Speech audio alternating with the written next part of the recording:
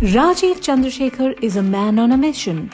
He has a history of walking the talk and delivering on his promises. His next promise is to make Thiruvananthapuram the next big tech and innovation hub of South India. Rajeev, a former chip designer and a cellular pioneer, has been handpicked by Prime Minister Narendra Modi to be the voice of people of Trivandrum, a city brimming with talent and potential, but consistently held back due to lack of political vision and collusion between two political ideologies. Despite being one of the first states in the country to establish a full fledged technology park in the 1990s and housing the VSSC, Vikram Sarabhai Space Center, the epicenter of India's space tech, Thiruvananthapuram today is not even in the top 15 states in technology, startups, and innovation.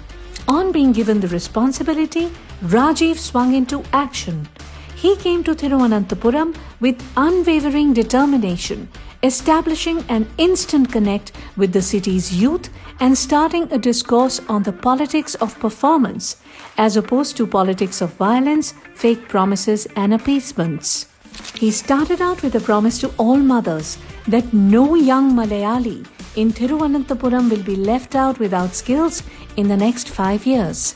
He announced plans to equip 4 lakh young Keralites with future ready skills within three years. He dedicated two STPI centers that will catalyze the next wave of tech startups in Kerala and Thiruvananthapuram. He brought the industry leaders to Thiruvananthapuram who signed up as partners with colleges and government organizations to create more opportunities of jobs and entrepreneurships for the youth. To catalyze the semiconductor design ecosystem in Thiruvananthapuram, he announced the setting up of a Bharat Semiconductor Research Regional Center at the VSSC, a new future lab at CDAC Thiruvananthapuram to catalyze electronic system design ecosystem. Setting up of 10 AI labs in the colleges of Thiruvananthapuram.